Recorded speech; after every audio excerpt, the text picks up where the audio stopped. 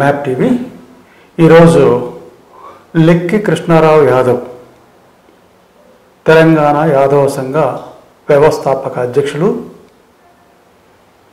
అట్లాగే గతంలో అనేక భోజన సంఘాల్లో పనిచేసిన అనుభవాన్ని వారి సేవల్ని కూడా మనం గుర్తించవచ్చు వారు ఒక సింగరేణి సంస్థలో ఉద్యోగాలు చేసి రిటైర్ అయిన తర్వాత సామాజిక సేవలో వారు కొంత సమయాన్ని వెచ్చించాలని వారు దృఢ సంకల్పంతో ఒక నిర్దిష్టమైన ఖచ్చితమైన నైతిక విలువలు కలిగిన సమాజానికి తయారు చేయడంలో కీలక పాత్ర పోషించాలనేది కృష్ణారావు గారి ఆలోచన.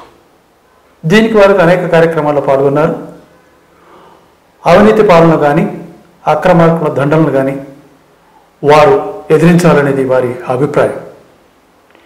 తొంభై మూడు శాతం ఉన్న బహుజనులు ఏకతాటిపైకి వస్తే రాజ్యాధికారాన్ని సాధించవచ్చు అనేది వారి లక్ష్యం.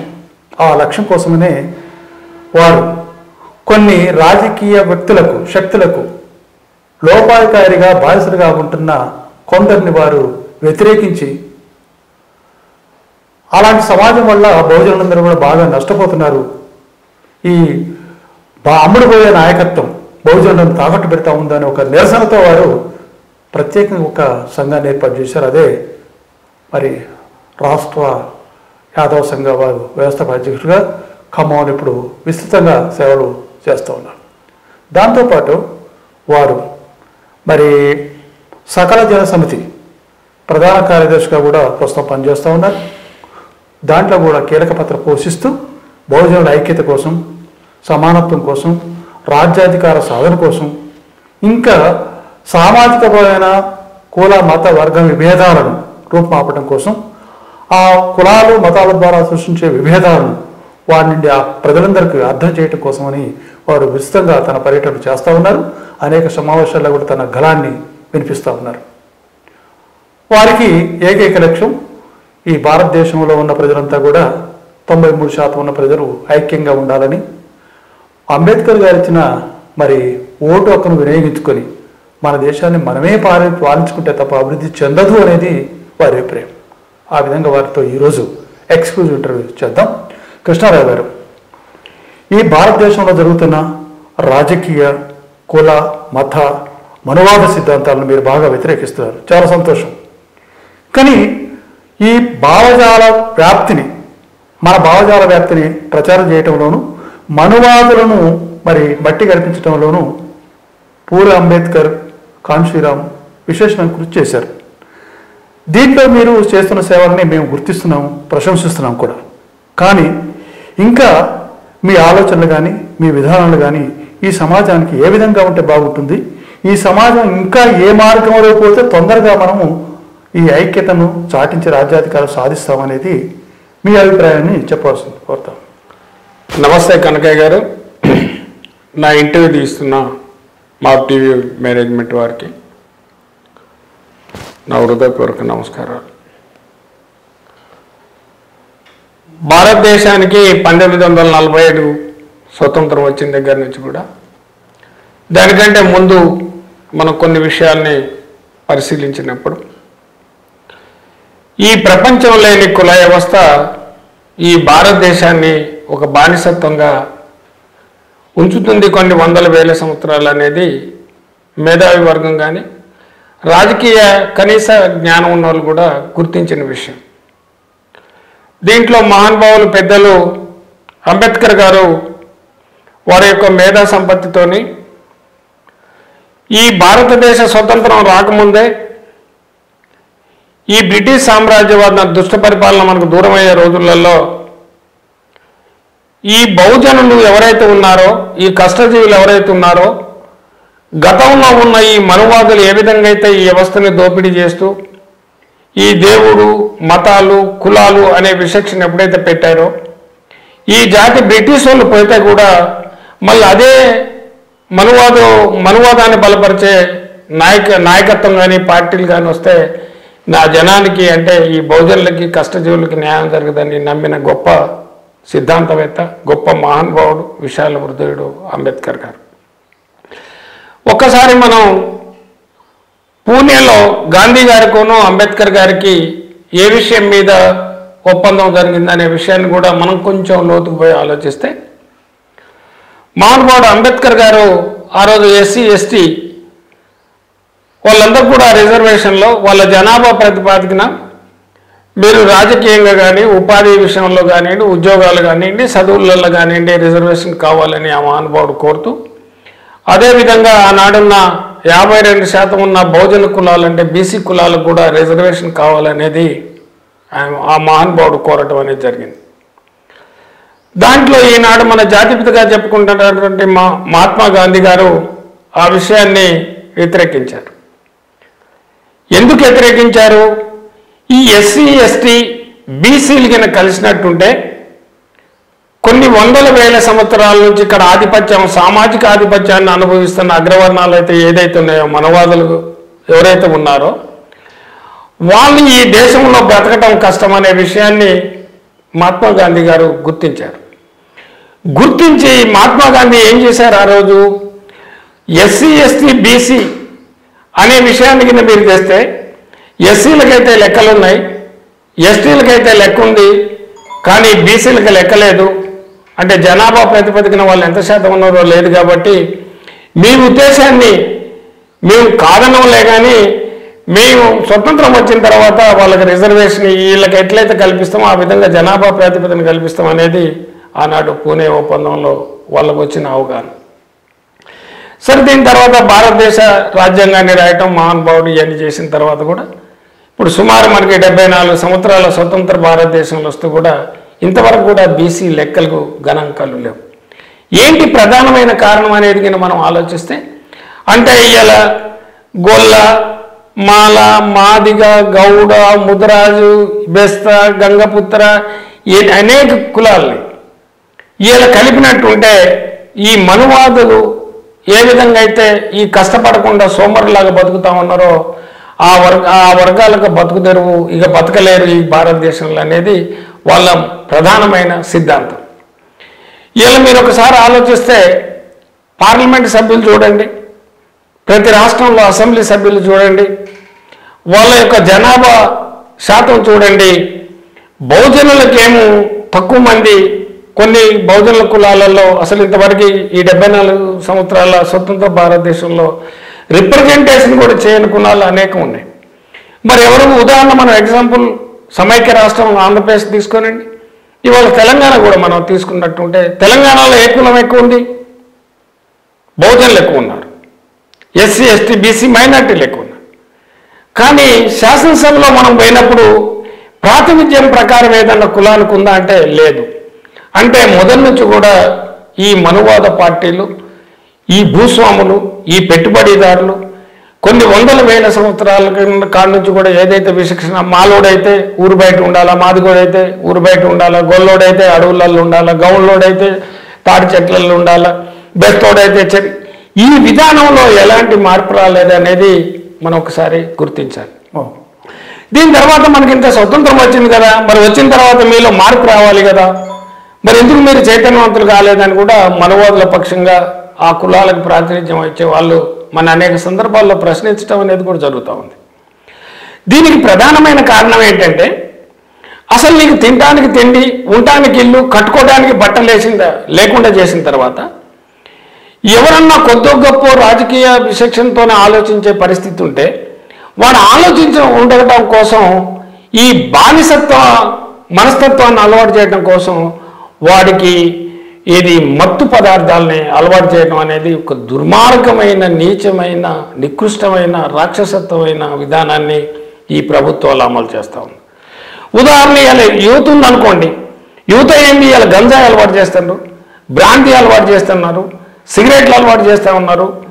ఈ అనేక రకాలుగా ఏది ఈ మత్తు పదార్థాలకు అలవాటు చేసి వీడు సంపాదించిన ఈ వందో రెండు వందల రూపాయలు కూడా వీడు మత్తు గురించి నాకు ఏ సాయంత్రం కాగానే నాకు ఇవాళ గుడంబ దొరికిద్దా బ్రాంతి దొరికిద్దా అనే ఆలోచనే తప్ప ఈ సమాజం ఎటుపోతుంది ఈ రాజకీయ పార్టీల యొక్క వలయంటి వీళ్ళు ఎక్కడ మనని మోసం చేస్తున్నారు అని ఆలోచించే పరిస్థితి లేకుండా ఒక రాక్షస మనస్తత్వంతోనే ఈ మనవాద పార్టీలు మన పరిపాలిస్తున్నాయి అనేది నేను అభిప్రాయపడతాను. ఓకే ఒకటండి. ఇదే విషయంలో చాలా మంది యువత మత్తు పదార్థాలకు బానిసగా మారిపోతున్నారు. మారుస్తుండ్రు. రాజకీయ నాయకులు మారుస్తున్నారు వీరు తొందరగా అట్రాక్ట్ అవుతున్నారు అంటున్నారు.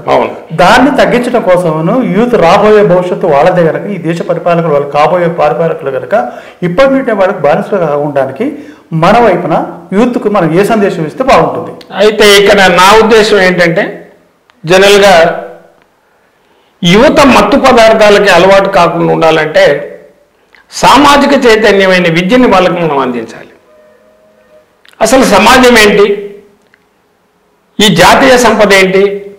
ఎవరు హస్తగతంలో ఉంటుంది? ఇప్పుడు కష్టపడేది మాల మాదిగ గౌడ యాదవ్ ఇలాంటి కులాల వాళ్ళు కష్టపడితే వేలాది ఎకరాలు ఇవాళ కర్ణాలు బ్రాహ్మణులు రెడ్డి కమ్మ చేతులలో ఉంటామేంటి విచిత్రం కదా.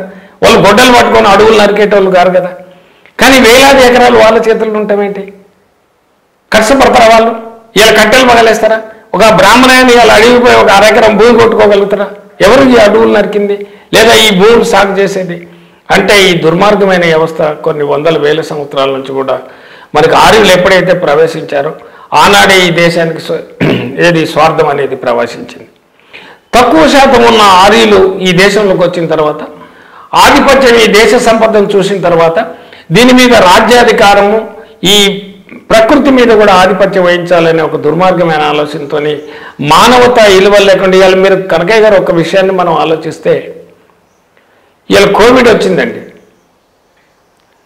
కోవిడ్ వచ్చినప్పుడు ప్రజలు వాళ్ళున్న అన్నం ప్లేట్లని నెత్తన పెట్టుకొని వాళ్ళు పండుకున్న సెంటర్లు సంకన పెట్టుకొని వాళ్ళు కన్న పిల్లల్ని సంకనేసుకొని ఒక జంతువుల్లాగా రోడ్లెంబట పోతే కూడా ఈ దుర్మార్గమైన పాలక వర్గాలు ఈ మనువాద పార్టీ నాయకత్వంలో ఉన్నోళ్ళు అయ్యో వాళ్ళు మనుషులు కదా.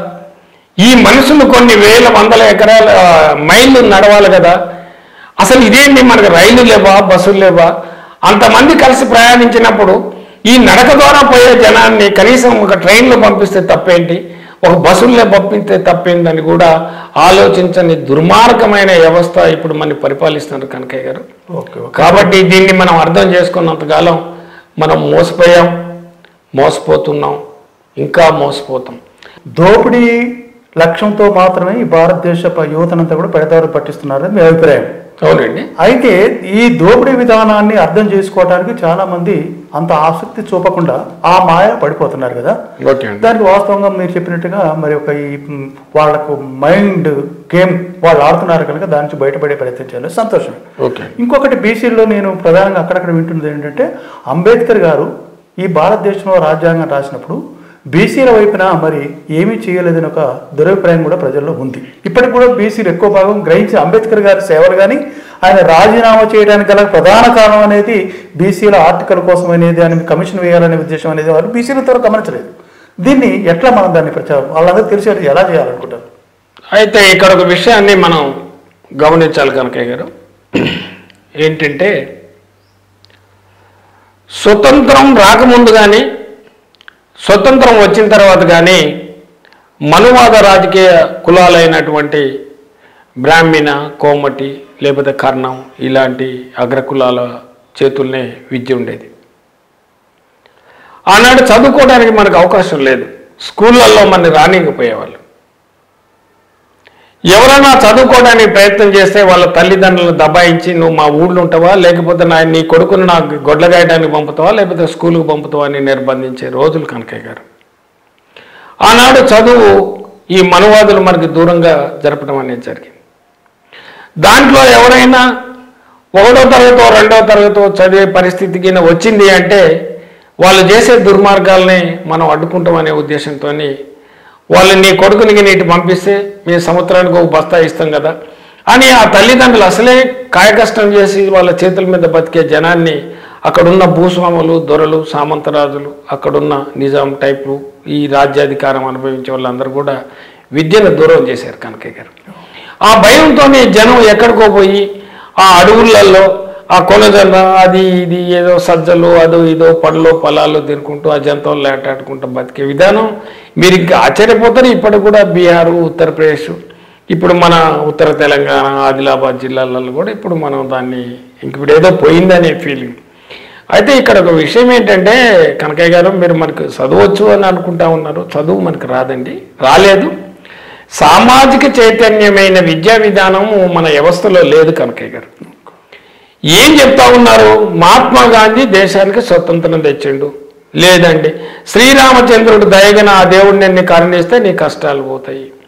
లేకపోతే ఇంకేదో. ఇవన్నీ కూడా మనువాదుల యొక్క ఆలోచన విధానమే ఈ విద్యా విధానంలో ఉంది తప్ప కనకయ్య గారు. సామాజిక చైతన్యం ఉపాధి కలగటం కోసం ఏం చేయాలి? వీడు చదువుకుంటే చేతి వృత్తులలో ఎట్లా డెవలప్ చేయాలి? చేతి వృత్తులన్నీ నిర్వీర్యం చేశారుగా కనకయ్య గారు. ఇలా చెప్పులు కూడా మనువాద ఐడియాలజీ ఉన్న కమ్మారెడ్డి బ్రాహ్మణ కులాల యొక్క ఫ్యాక్టరీలు పెట్టి నా సోదరులు దళిత సోదరులు చర్మకారులు ఇలా వాళ్ళ బతుకు తెరువు లేకుండా బానిసలాగా ఎక్కడికో పోయి ఎవరి ఇళ్ళ బొచ్చులు తోమి లేకపోతే వీళ్ళ భూములన్నీ వాళ్ళు ఆక్రమించుకుంటే వాళ్ళ దగ్గర పారిశ్రామిక దగ్గర గేట్ల దగ్గర పనిచేసే విధానం ఒకవేళ బాకీలు ఎక్కువై జబ్బులు చేస్తే ఆటోమేటిక్ ఇంత మందు తాగు చెరువులలో చెట్లలో పడి చనిపోయే విధానాన్ని మనం కదా కనకే కదా నాకు కల్పితాలు కాదు మీకు. Okay okay. మీరు వాస్తవాలు గమనించమనేదే నా ఉద్దేశం. అయితే ఒకటి ఏంటంటే మీరు చెప్పేది ఏంటంటే వాస్తవమైన మన చరిత్రను మనకు తెలియకుండా చేశారు ఇది మోసం అనేది చేస్తా ఉన్నారు ఇంకా కంటిన్యూ. చేస్తా ఉన్నారు అనేది అభిప్రాయం. కూడా నిరక్షరాస్యత లేదు అక్షరాస్యత అంత మోసం ఓకే. అక్షరాస్యత లేదు. ఎందుకు లేదు అంటే ఇవాళ మనకి ఫీజు రియంబర్స్మెంట్ అని వస్తుంది కనకయ్య గారు. ఈ పేర్లన్నీ ఆ పెట్టుబడిదారులు ఆ పాలక వర్గాల యొక్క ఏజెంట్లైన ఈ మనువాదాన్ని ఎవరైతే బలపరుస్తారో ఆ కులాల ఆధిపత్యంలో ఇలా విద్యా సంస్థలు ఉన్నాయి. ఇంజనీరింగ్ కానీ మెడికల్ కానీ ఏ కాలేజ్ అని కానివ్వండి. ఇవాళ నీ దగ్గర ఎంత టాలెంట్ ఉన్నప్పుడు కూడా నీకు సీట్ రాదు కనకయ్య గారు. మళ్ళీ ఎవరైతే మనవాదుల యొక్క డబ్బు కట్టగలిగిన స్థాయి ఉన్నారో అంటే ఎవరుంటారు? ఈ పాలకులు ఈ దోపిడీదారులు ఈ అవినీతి చేసే ఈ ఆఫీసర్లు కొంతమంది పిల్లలే తప్ప సామాన్య పిల్లలు ఇవాళ డాక్టర్ అయ్యే పరిస్థితి లేదు. సామాన్యుల పిల్లలు ఇవాళ ఐపీఎస్ అయ్యేటట్లేదు ఐఏఎస్ అయ్యేటట్లేదు. సామాన్యుల పిల్లలు ఇంకా సివిల్ ఇంజనీర్లు అయ్యే పరిస్థితి లేదు. ఈ సివిల్ ఇంజనీర్లు కూడా కనకయ్య గారు మనం ఆలోచించేది ఏంటంటే ఈ కన్స్ట్రక్షన్స్ కూడా ఉపయోగపడిన సర్టిఫికేట్ ఒక మూర్ఛల రోగాలకు ఇచ్చినట్టు ఒక సర్టిఫికేట్ ఇస్తాడు కనకయ్య గారు. వాడికి విద్య చెప్పడు వాడి పేరు ఈ ఫీజు రియంబర్స్మెంట్ దోపిడీ చేయడానికి ప్రజల సొమ్ము దోసుకోవడానికి వాడి పేరు రాస్తాడు కనకయ్య గారు. ఆ ఎగ్జామ్స్ కూడా వాడి టాలెంట్ని పెట్టి పెట్టరండి. అంత చూసి రాసి ఏదో వాడికి నాలుగు మార్కులు వేసి వాడి జబ్బు గిన ఏ- వేసే విధానమే తప్ప ఇదంతా దగా మోసం కనకయ్య గారు. డెబ్బై నాలుగు సంవత్సరాలైనా పంతొమ్మిది వందల నలభై ఏడు పరిస్థితుల కంటే పెద్ద మార్పు ఉందని అయితే నేను వ్యక్తిగతంగా ఫీల్ కావట్లేదండి. ఆనాడైనా నీతి నిజాయితీగా ఓటేసే పరిస్థితి ఉండే కానీ ఇవాళ అది కూడా లేదండి. నీతిగా ఇవాళ ఓటేస్తే వాడి ఇండ్లు దగ్గర పెట్టడం వాడిని గొడ్లని ఇది చేయటం లేకపోతే ఇంకేదన్నా కేసులు పెట్టడం ఇక్కడున్న పాలక వర్గాలు ఈ పెట్టుబడిదారుల యొక్క బానిసలుగా మార్చే విధానం చేయటం లేకపోతే వాడు కొడుకులు ఇంకేదన్నా తీవ్రవాద సంస్థలలో ఇరికేయటం. ఇప్పుడు మళ్ళాంటి వాళ్ళం నాలాంటి వాళ్ళం కట్టుకుంటే కూడా నా మీద కూడా ఎన్ని కేసులు పెడతారు? ఈ- సరే వీటికి భయపడే ఉద్దేశంతో కాదు. అంత నీచంగా దిగజారాడు తప్పు కాదు. ఎందుకంటే వాళ్ళ ఉద్దేశం అది. మనిషిని మనిషిగా గౌరవించని రాక్షసత్వంగా చూసే విధానం కల్లా వ్యవస్థ మనం పరిపాలిస్తుంది కాబట్టి దీన్ని తొంభై మూడు శాతం ఉన్న బహుజన నాయకత్వం ప్రజ బహుజన సమాజం దీన్ని గుర్తించాలి కాబట్టి ఇది గుర్తించనంత కాలం డబ్బులకు మనం అమ్ముడు డబ్బులకు అమ్ముడు పోవాలని ఎవరికి లేదు కనకయ్య గారు. ఇవాళ రెండు వేల మూడు వేలు ఇస్తాడు రేపు వాడు బర్త్ సర్టిఫికేట్ కావాలంటే పదివేలు పక్కన ఉన్న కార్పొరేటర్ మున్సిపల్ కౌన్సిలర్. కానీ తెలుసు వాళ్ళకి ఆ ఉద్దేశం. కానీ నేను పెట్టే పదివేలలో వాడు ఇచ్చే రెండు వేలు నాకు ఏదైనా పనికి వస్తుంది అనే ఒక ఆర్థిక పరిస్థితి వాడికి మానవత్వం ఆత్మగౌరవాన్ని చంపుకొని తీసుకుంటాను తప్ప వాడి డబ్బు ఇస్తే ఇటు కోటేయాలని లేదండి. రెండోది కూడా అన్ని రాజకీయ పార్టీలు ఇవ్వాలి ఉన్నది. మీరు ఏ రాజకీయ పార్టీ పేరు కూడా నేను చెప్పను కూడా. అందరూ ఆ మనువాదాన్ని చేసేవాళ్ళు. ఈ బహుజన సమాజాన్ని దూరంగా పెట్టే కులాలే మతాలే కాబట్టి ఇక జనం కూడా అలవాటయ్యారండి. ఈడు గెలిచినా అదే చేస్తాడు వాడు గెలిచినా అనేది ఒక నిరాశ నిస్పృహతోని ఇవాళ ఓట్లు ఇవాళ మీరు పరిశీలించండి. జిహెచ్ఎంసీ ఎన్నికలలో ఎంత శాతం వచ్చారండి? అంటే నలభై శాతం అంటే అసలు ఫిఫ్టీ పర్సెంట్ కూడా రాలేదు కదండి. దాన్ని ప్రజాస్వామ్యం అని ఎట్టందాం కనీసం ఫిఫ్టీ పర్సెంట్ క్రాస్ అయితే కదా ప్రజల మనోభావాలు. అంటే యాభై శాతం జనం మిమ్మల్ని తిరస్కరించినా మేమే నాయకులమయ్యా అని అనుకుంటా అంటే ఇది ఏం ప్రజాస్వామ్యం ఉందామో పెద్దలు మీలాంటి వాళ్ళు అయితే మీరు ఒకటి ఇప్పుడు మీ అభిప్రాయం ఏంటంటే పేదరికాన్ని సృష్టించి ఆ పేదరికాన్ని ఓటు ద్వారా దోచుకుంటున్నారు పరిపాలన కొనసాగిస్తున్నారు అనేది మీ అభిప్రాయం. అవునండి. ఎస్సీలు అంటరాని వాళ్ళంతా కింది స్థాయి కింది మెట్టు మీద ఉన్నారు.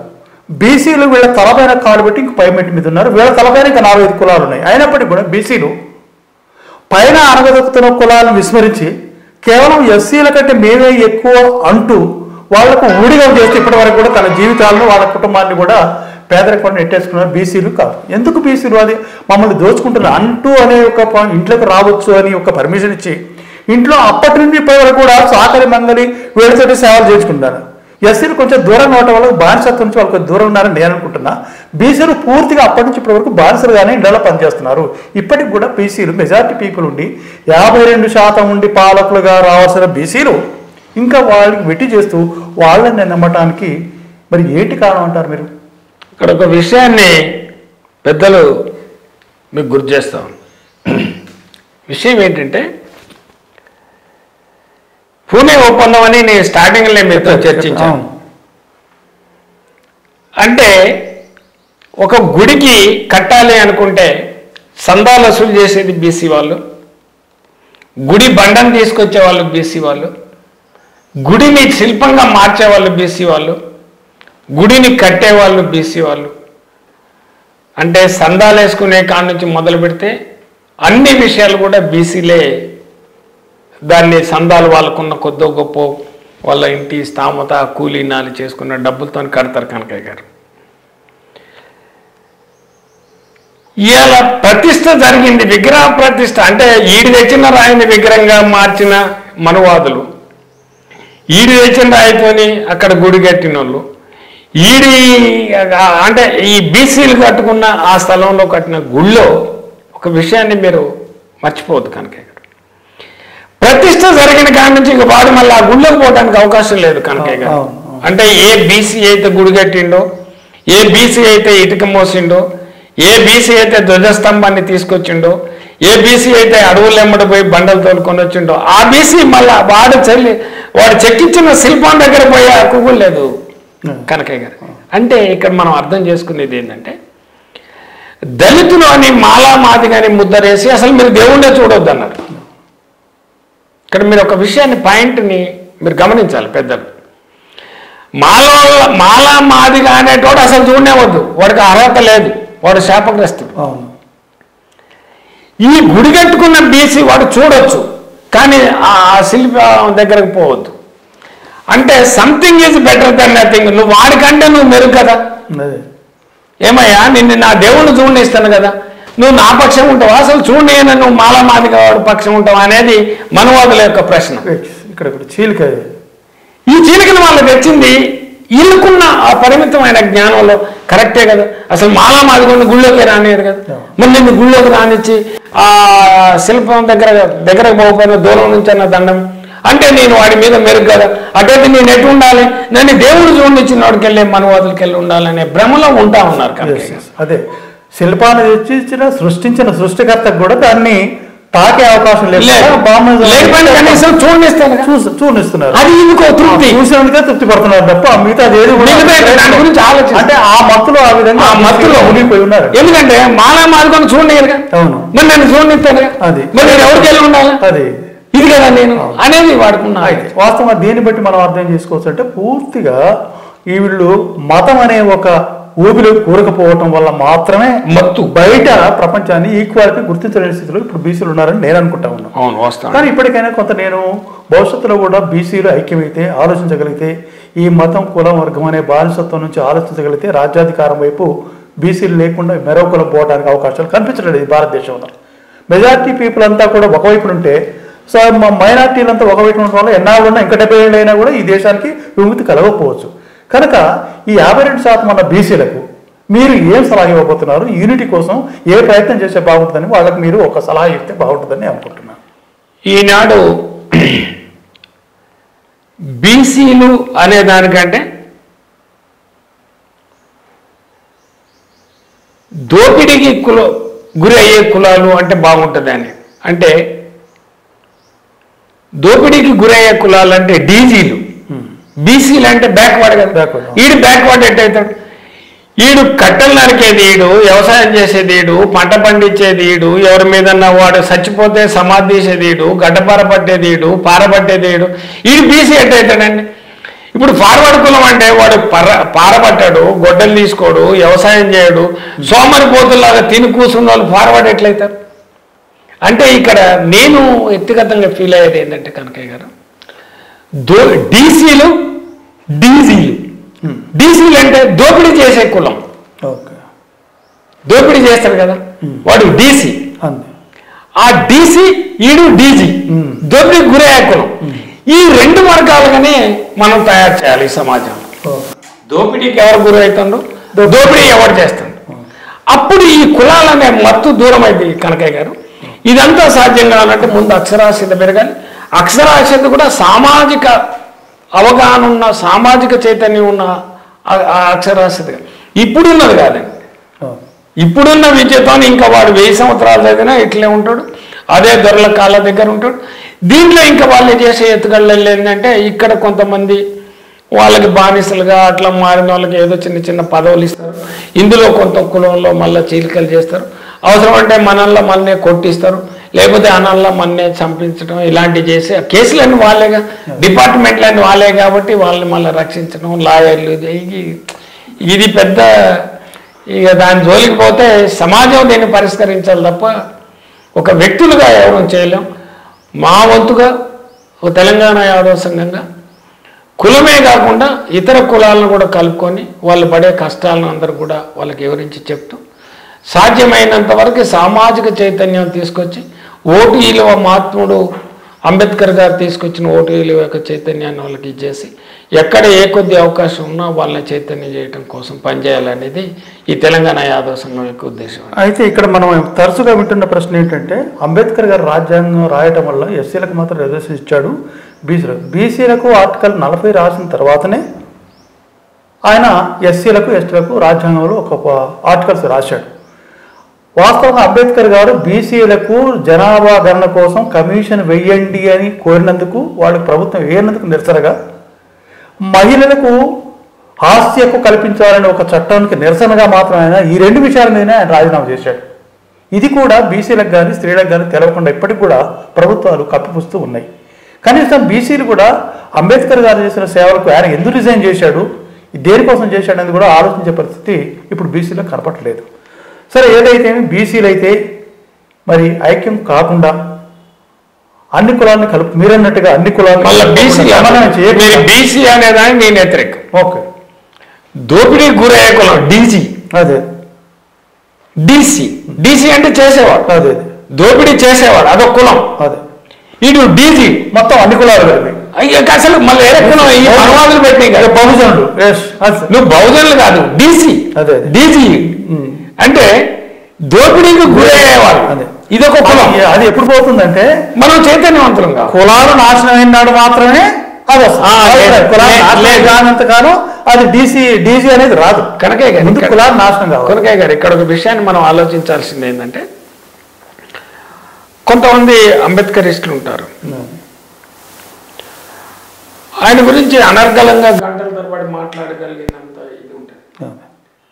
ఆచరించే విధానానికి వస్తే దోపిడీ చేసే అన్ని కులాలలో ఎక్కడ దోపిడీ చేసినా ప్రత్యక్షమై నేను ప్రశ్నించాలనే ఉద్దేశం లేకుండా మళ్ళా వాళ్ళు డీసీలకే సపోర్ట్ చేస్తూ ఉంటారు.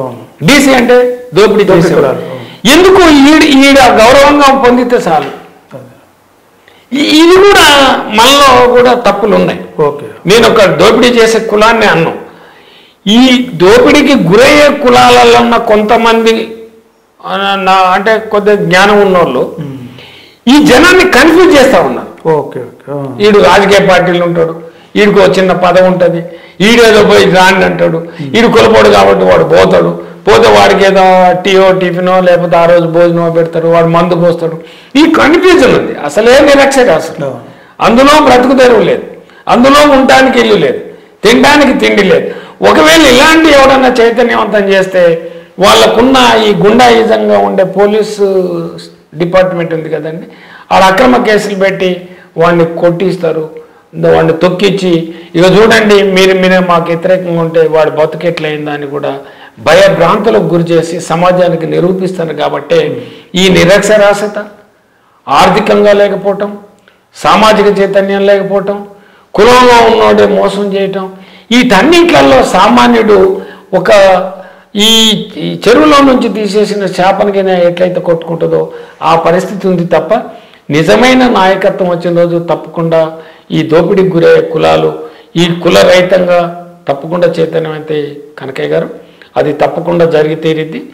దానికి ప్రధానమైన కారణం ఏంటంటే మన కష్టాలే మన ఐక్యం చేస్తాయి.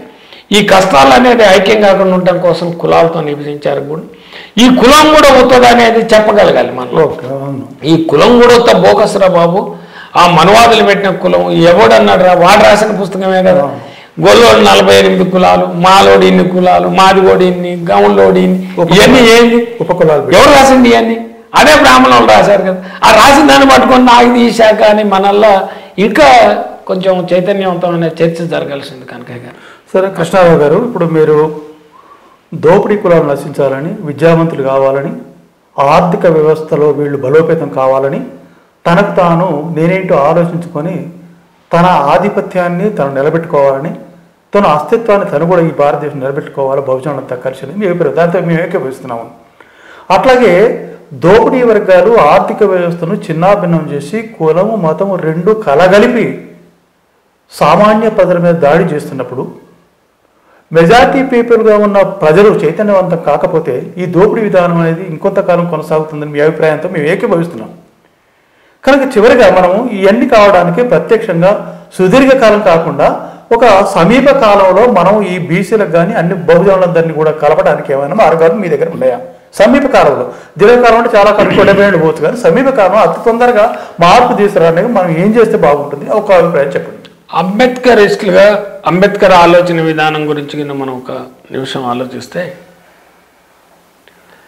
కులరహిత సమాజం కావాలి అనేది ఇప్పుడు అసాధ్యమైన విషయం. ప్రస్తుతం ఉన్న పరిస్థితులలో కులాలతోనే ఐక్యత తీసుకురావాలి ఐ అబ్యూజ్ ఇట్ పాసిబుల్ మరి ఎట్లా సాధ్యం?